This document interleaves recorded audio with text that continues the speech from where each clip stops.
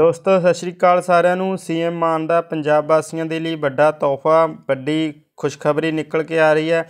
ਰਾਹਤ ਭਰੀ ਖਬਰ ਨਿਕਲ ਕੇ ਆ ਰਹੀ ਹੈ ਕਿ 600 ਯੂਨਿਟ 2 ਮਹੀਨਿਆਂ ਦੇ ਫ੍ਰੀ ਬਹੁਤ ਜਲਦੀ ਹੋਣ ਜਾ ਰਹੇ ਨੇ। ਤੁਸੀਂ ਪਹਿਲਾਂ ਇਹ ਬਿਆਨ ਸੁਣੋ।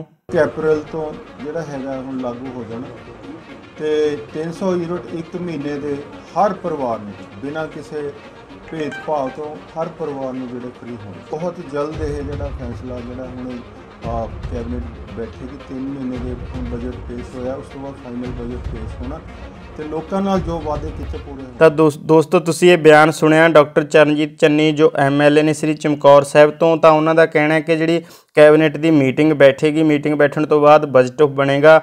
ਬਜਟ ਬਣਨ ਤੋਂ ਬਾਅਦ ਜਿਹੜਾ ਅਪ੍ਰੈਲ ਦੇ ਵਿੱਚ ਹੀ ਜਿਹੜਾ ਫੈਸਲਾ ਲਿਆ ਜਾਵੇਗਾ 300 ਯੂਨਿਟ ਪਰ ਮੰਥ ਜਿਹੜੀ ਬਿਜਲੀ ਫ੍ਰੀ ਦਿੱਤੀ ਜਾਵੇਗੀ, ਤਾਂ ਬਹੁਤ ਵੱਡੀ ਖਬਰ ਨਿਕਲ ਕੇ ਆ ਰਹੀ ਹੈ, ਰਾਹਤ ਭਰੀ ਖਬਰ ਨਿਕਲ ਕੇ ਆ ਰਹੀ ਹੈ ਕਿ ਪੰਜਾਬ ਵਾਸੀਆਂ ਨੂੰ ਹੁਣ ਬਿਜਲੀ ਦਾ ਜਿਹੜਾ ਤੋਹਫਾ ਮਿਲਣ ਜਾ ਰਿਹਾ ਹੈਗਾ।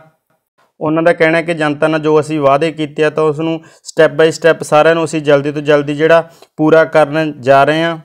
ਤਾਂ ਉਹਨਾਂ ਨੇ ਬਕਾਇਦਾ ਪ੍ਰੈਸ ਦੇ ਵਿੱਚ ਇਹ ਬਿਆਨ ਦਿੱਤਾ ਹੈ। ਤਾਂ ਹੁਣ ਦੇਖਦੇ ਹਾਂ ਅਪ੍ਰੈਲ ਦੇ ਕਿਸ ਦਿਨ ਤੋਂ ਜਿਹੜੀ ਬਿਜਲੀ ਦਾ ਤੋਹਫਾ ਪੰਜਾਬੀਆਂ ਨੂੰ ਮਿਲਣ ਵਾਲਾ ਹੈਗਾ। ਤਾਂ ਉਹਨਾਂ ਦਾ ਕਹਿਣਾ ਹੈ ਕਿ ਜਿਹੜਾ ਅਪ੍ਰੈਲ ਦੇ ਵਿੱਚ ਹੀ ਜਿਹੜਾ ਫੈਸਲਾ ਲੈ ਲਿਆ ਜਾਵੇਗਾ। ਠੀਕ ਹੈ ਜੀ। ਤਾਂ ਫਿਲਹਾਲ ਦੋਸਤੋ ਇਹੀ ਜਾਣਕਾਰੀ ਲੈ ਕੇ ਆਏ ਸੀ। ਨਵੀਆਂ ਖਬਰਾਂ ਦੇ ਲਈ ਤੁਸੀਂ ਚੈਨਲ ਨੂੰ ਸਬਸਕ੍ਰਾਈਬ ਜ਼ਰੂਰ ਕਰੋ।